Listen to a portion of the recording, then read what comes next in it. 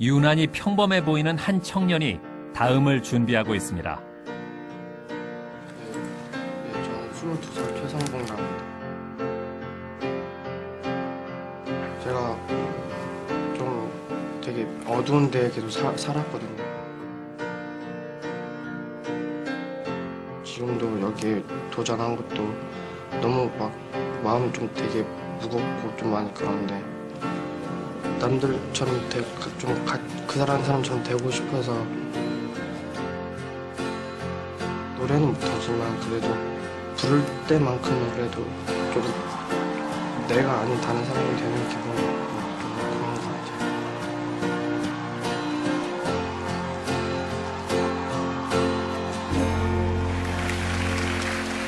안녕하세요. 네, 안녕하세요. 22살 최선봉이랍니다. 풍기는 외모로 봐서는 지금 무슨 일을 하고 계신지 가늠을 할 수가 없어요. 네, 그냥 막노동하고 있습니다. 네. 아, 새벽에 네. 여기 지원사를 보니까 최성봉 씨 가족상에 아무도 기재가 되어 있질 않아요. 제가 3살 때 고아원에 이렇게 맡겨졌는데요. 5살 때 고아원에서 구타를 맞아가지고 도망쳐 나왔어요. 그러고서는 그럼 어떻게 사셨습니까? 고아원에서 나오셨으면?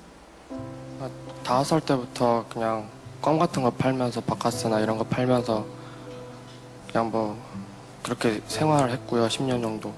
누군가와 같이 생활을 했나요? 아니요, 혼자.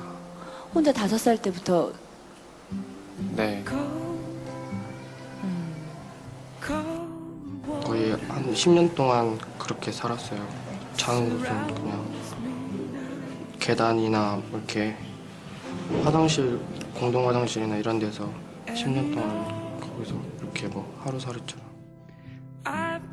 공부는 하셨나요? 학교는 다니셨나요? 아니요, 저 초등학교, 중학교 검정고시 봤고요.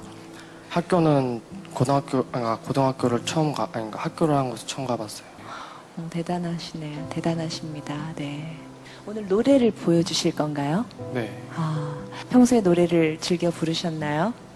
그냥 즐겨 부른다기보다는 하루살이처럼 계속 살았다가 처음으로 좋아했던 게 음악이어서 많이 부르진 못해도 되게 좋, 좋게 봐요. 아니, 좋아해요. 네. 노래 들어볼게요.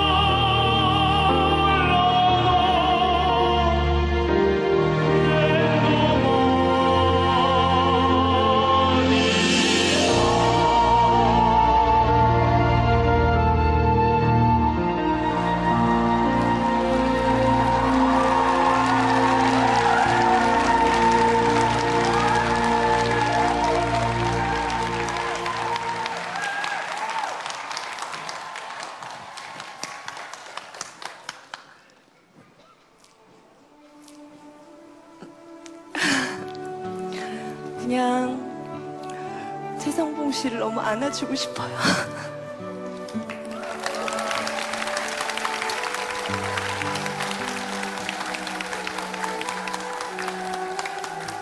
왜 노래하고 싶어요? 제가 어릴 때 좀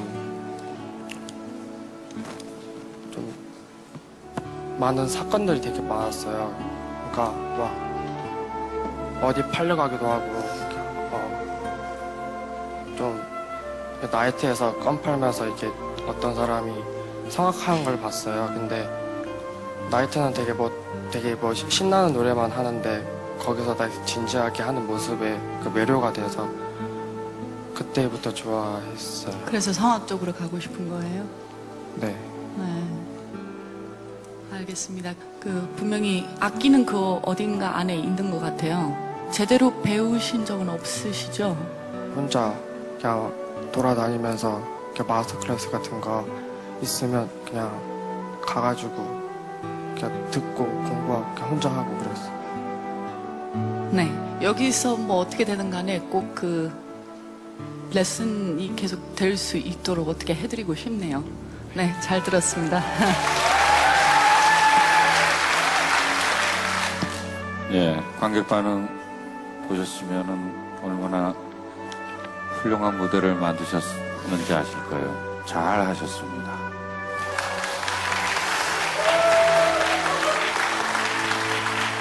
판정하겠습니다. 합격입니다. 장진 감독님 합격입니다. 축하합니다. 지영에서 통과하셨습니다.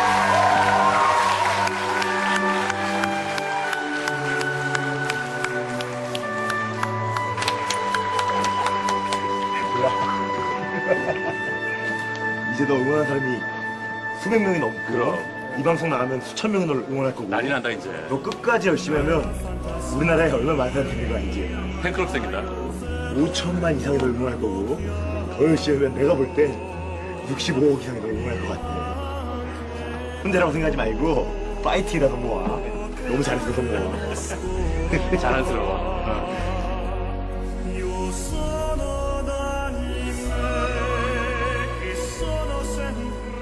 그런 친구들은 어쨌든 그 어려움 속에서도 난 이- 하고 싶은 거 할 거야 라고 해서 달려가는 그런 패션은 참 잘하는 친구들 가지기도 힘들고 음역이 사람을 좀 이렇게 가져가.